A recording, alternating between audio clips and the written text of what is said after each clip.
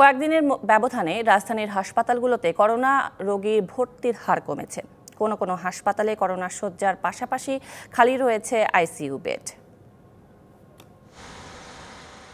Corona চিকিৎসার জন্য সরকার নির্ধারিত হাসপাতালগুলোর মধ্যে অন্যতম কুর্মিটোলা জেনারেল হাসপাতাল। এখন পর্যন্ত এর সেবা নিয়ে সন্তুষ্ট রোগী ও স্বজনরা। এই হাসপাতালে আমি প্রথম এক ডোজ দিলাম এ তো দ্বিতীয়বার আসলাম। তো এইখানে পরিবেশ খুব ভালো। তুলনামূলকভাবে এখানে আপনার মাছ মোর বেটার আমার মনে হয় অন্যান্য হাসপাতালের থেকে। সিরিয়াল টিরিয়ালের ঝামেলা অন্তত নর্মাল টাইমে খুব একটা বেশি থাকে না। পাঁচশো শয্যা বিশিষ্ট হাসপাতালটির তথ্য অনুসারে কোভিড চিকিৎসার জন্য সক্ষমতা রয়েছে দুশো পঞ্চাশ শয্যার। রোগী ভর্তি রয়েছে দুশো সাতাত্তর জন। তবে অতিরিক্ত বেডে এখনও রোগী ভর্তির সুযোগ আছে বলে জানিয়েছে হাসপাতাল কর্তৃপক্ষ।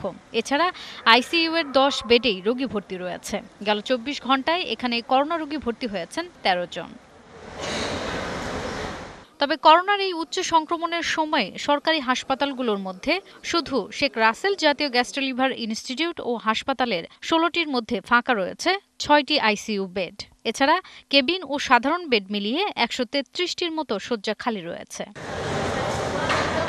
এদিকে সোহরাওয়ার্দী হাসপাতালে গেল চব্বিশ ঘন্টায় ভর্তি হয়েছেন একুশ জন, যেখানে তিনশো বেডের মধ্যে ভর্তি রয়েছে একশো পঁয়ত্রিশ জন। তবে পরিচালক বলছেন, আপাতত বিধি নিষেধের কারণে রোগী ভর্তির হার কম হলেও স্বাস্থ্যবিধি না মানলে তা বাড়ার আশঙ্কা রয়েছে।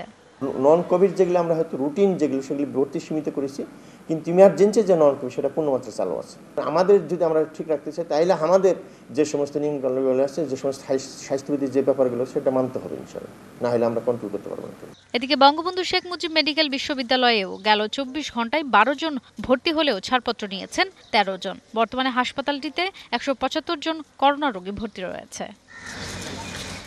সাপিনা পুথি, ডিবিসি নিউজ, ঢাকা।